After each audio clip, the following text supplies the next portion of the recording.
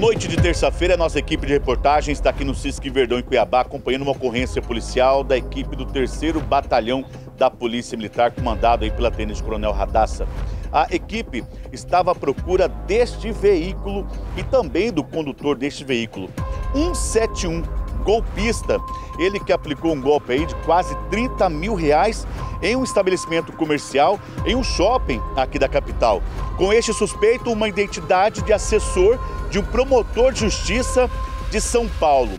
No veículo, este veículo que é um veículo alugado, tem também adesivos do Tribunal de Justiça do Estado de Mato Grosso, o veículo com características de oficial, só que é um veículo alugado. Este homem não pertence ao Tribunal de Justiça, ele é golpista, tem várias passagens pela polícia e ele, é no dia 7, aplicou um golpe nesta loja de R$ 5.900. No dia 9 voltou, aplicou mais um golpe de R$ 10.800 e no dia 10 ele voltou a este estabelecimento comercial e aplicou outro golpe de 12.400 reais, totalizando 28.700.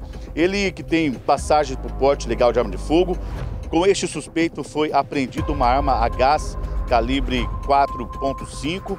Ele que estava com esta identidade do Ministério Público de São Paulo. Ele já tinha aplicado golpes também na cidade de Várzea Grande.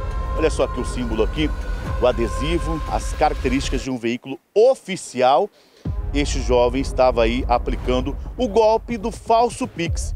É aquele golpe que a pessoa compra na loja e aplica ali, agenda o pagamento do Pix.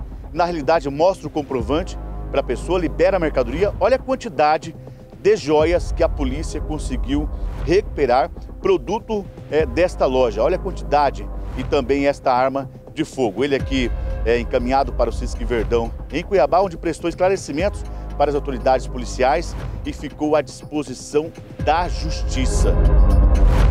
A, loja já, a gerente da loja já tinha feito o registro de ocorrência, é, detalhando o que tinha sido levado, a quantia, quant, quantas vezes ele deslocou até a loja e diante dessas informações do cadastro do indivíduo e esse veículo é, visivelmente alterado, nós conseguimos localizá-lo e fazer a sua prisão. Sargento, quando vocês realizaram a prisão do suspeito, ali foi uma surpresa, ele não esperava que a polícia estava na cola dele. É um 71, né? Sempre tem uma desculpa na ponta da língua para passar. Mas a equipe do GAP foi eficiente e conseguiu fazer a prisão do mesmo. Veículo totalmente caracterizado, se passava pela cidade como se fosse um veículo oficial. É, quem não, não, não vê a fundo acredita que se trata de um veículo oficial. Tem equipamentos de iluminação, é, símbolos de, de poder público. Então, quem não sabe acaba acreditando que se trata de um veículo oficial. Agora, o suspeito fica à disposição aqui da Polícia Judiciária Civil e vai ficar à disposição da Justiça. Com imagens, André Rezende. Apoio técnico, Valdemir Guimarães.